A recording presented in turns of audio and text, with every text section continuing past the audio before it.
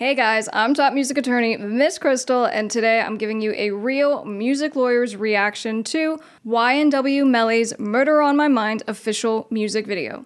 Let's get into it. Hi guys, I'm top music attorney Miss Krystle. I'm an entertainment attorney, public speaker, and creator of the Top Music Attorney School for artists and record labels. I'm the owner of Dukes Up Records, and most importantly, I'm an independent artist. Don't forget to subscribe and turn on those bell notifications so you don't miss my weekly videos giving you my best tips on the music business, industry news updates, and teaching you how to stay legally protected.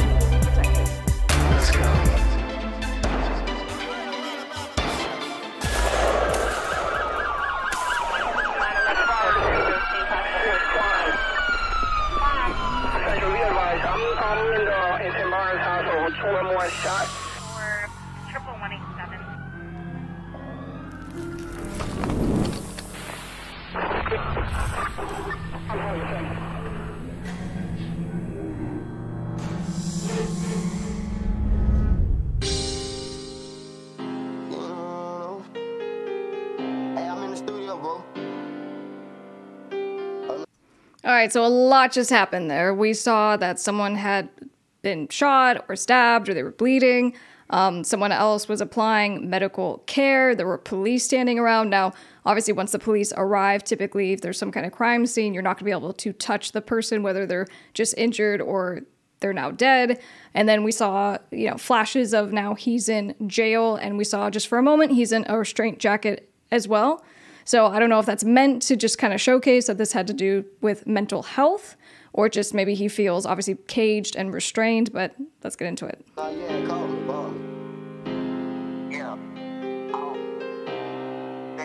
Yeah, I'm at the studio. Hold up, though. Ain't get to roll no weed. Ain't get to roll no swishers. I was locked up on Christmas. Ain't get to see my niggas. Ain't get to hug my mama. Couldn't even give her no kisses. Can't even post on my Instagram. Could he pussy nigga be snitching? Everybody acting suspicious. Might probably say that I'm tripping. So he's obviously in jail. He says, I ain't getting no swishes. He can't smoke any weed. He's not seeing his family. Christmas passed. So, and then he also mentions that there are snitches. Okay, so while he's in jail, he's talking about someone or people snitched on him. And obviously, that's not a good thing. There's retaliation that's usually associated with that. But then we did see for a moment someone's talking to the police officer and then pointing over. And so now we're thinking, well, is there some kind of premeditation of something that's going to happen?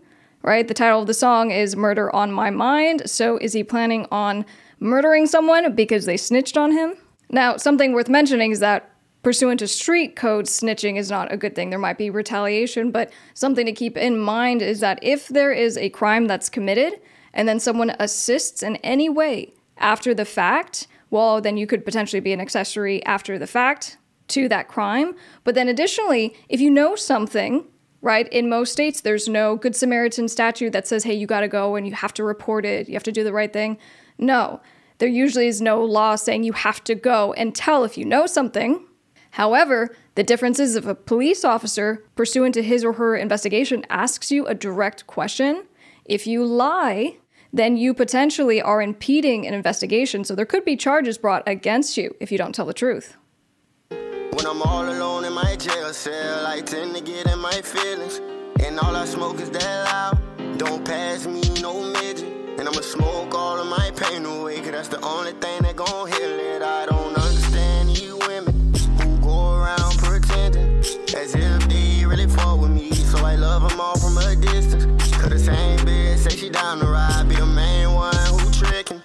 With promethazine, cause every time I wake up in the morning, I got murder on my mind. AK 40.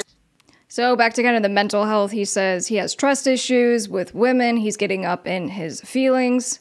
And he even mentioned promethazine, which is a prescription drug. He mentioned Molly, right? So the use of drugs, if he's saying that he's doing this while in jail, that can add sentence time, of course, if you're committing crimes while you're in jail. So hopefully he had at least a prescription for promethazine. Sevens, Mac 11s, Glocks and nines, and all these pussy niggas hating, trying to knock me off my grind.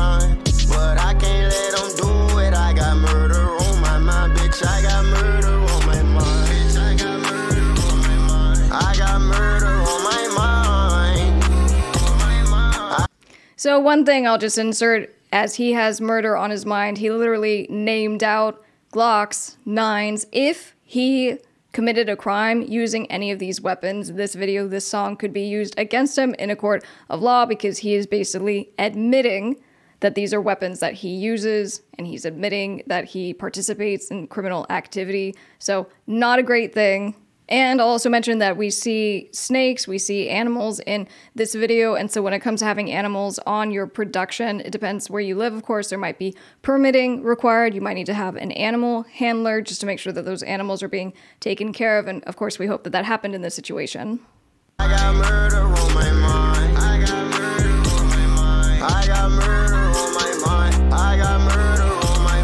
Yellow tape around his body. It's a fucking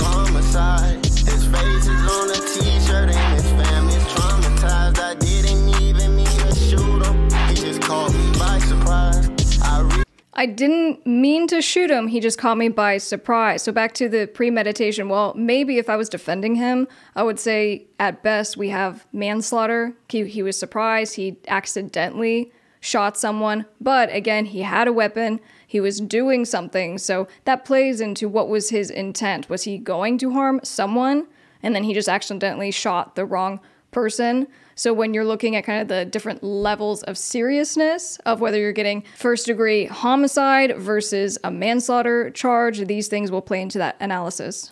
And of course, at this point, we have abundant clarity that there was, in fact, a fatality, not just from the visual, but he's saying his family is now wearing his face on a shirt as a memorial.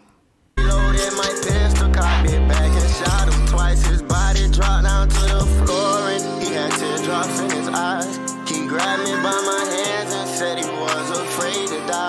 I told him it's too late, my friend, it's time to say goodbye. And he died inside my arms, blood all on my shirt. Wake up in the morning, I got murder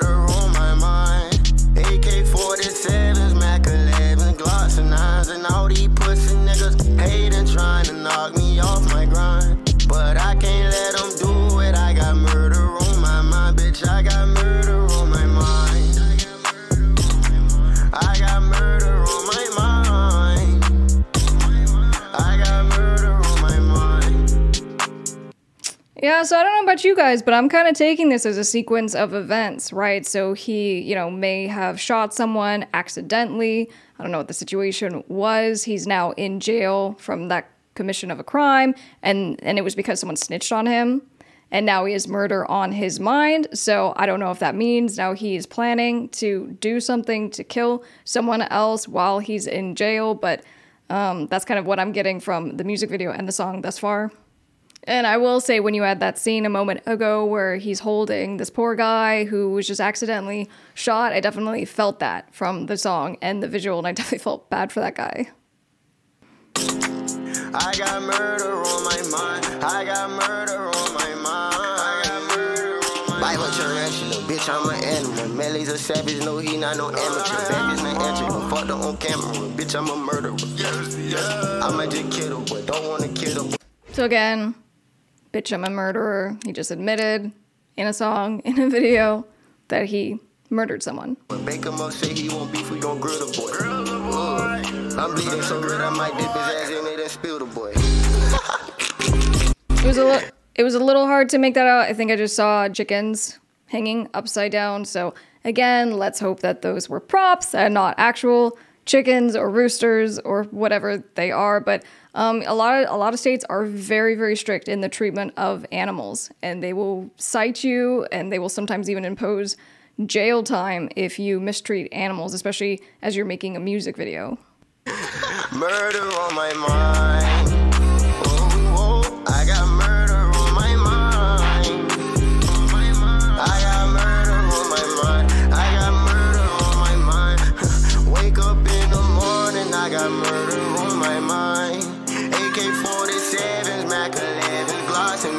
and all these pussy niggas hating, trying to knock me off my grind. But I can't let them do it. I got murder on my mind, bitch. I got murder on my mind. I got murder on my mind. I got murder on my mind. Wow, a very powerful video, a very powerful song. I definitely felt it, um, particularly in that that one section where we see the person actually passing away and being afraid. Now, you know, going back to just how can this be used in a court of law? It absolutely can. And we've seen this time and time again. If you have an admission of guilt or you're talking about your premeditation, I mean, he said, I have murder on my mind no less than several dozen times throughout this video. This is something that's going to be used against him, especially if there are some kind of murder charges. Um, and so, you know, especially for rappers who want to talk about what they've been through, what they're experiencing. You have to be very careful with what you put in your music and your videos. Basically, in other words, what I'm saying is tell your story, be artistic, but let's make it fiction rather than the real thing. If you're interested in checking out a little of what I do musically, just search Miss Krystle on all music platforms. Don't forget to come say hi on social media. I'm at Top Music Attorney on all social media platforms. And if you happen to be an independent artist and you're looking for help or you're trying to start a record label, visit topmusicattorney.com. I have all kinds of free courses to help you get started today. Don't forget to subscribe, turn on those bell notifications so you don't miss any new videos from your new favorite redhead. I'm Top Music Attorney, Miss Krystle. Bye, guys.